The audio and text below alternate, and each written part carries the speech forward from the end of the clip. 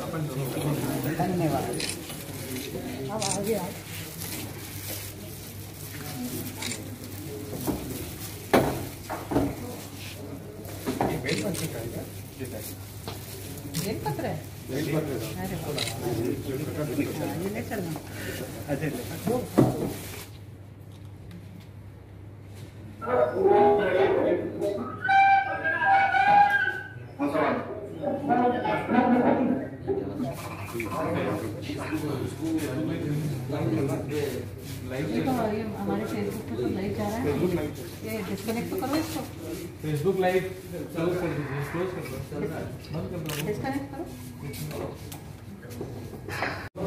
हमने नौ वार्डों में नौ जगहों पे अलग अलग तरह के काम किए हैं और माननीय मुख्यमंत्री जी के निर्देश अनुसार जो शासन ने, प्रशासन ने आदेश दिए हैं कि हमें मौके पे जाके कोई भी भीड़ एकत्रित नहीं करनी है, भूमि पूजन नहीं करना है, लोकार्पण नहीं करने हैं। ज़्यादा से ज़्यादा कार्यक्रम हमें वर्चुअल तरीके से संपन्न करने हैं।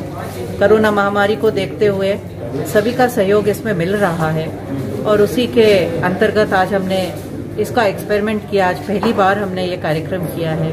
बहुत अच्छे तरह से संपन्न हुआ है। वार्ड के लोग भी देख पाए हैं कि इसका भूमि पूजन हुआ है और हमने भी यहाँ पे बैठ के भीड़ को कम से कम इकट्ठा कर कर, नियंत्रित कर कर अपने विकास के कामों को आगे बढ़ाया है। वैश्विक महामारी कोरोना का प्रकोप चल रहा है। जिसमें भारत भी अछूता नहीं है। इसी को दृष्टिगत रखते हुए कहीं भी सार्वजनिक स्थान पर भीड़ को इकट्ठा करना अभी ठीक नहीं है।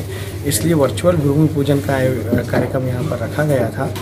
और चूँकि कोरोना काल चल रहा है ऐसी स्थिति में विकास कार्य को रोका जाना भी ठीक नहीं है।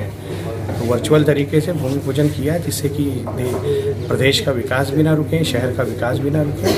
कार्य भी होते रहे और कोरोना संक्रमण भी नियंत्रण में रहे।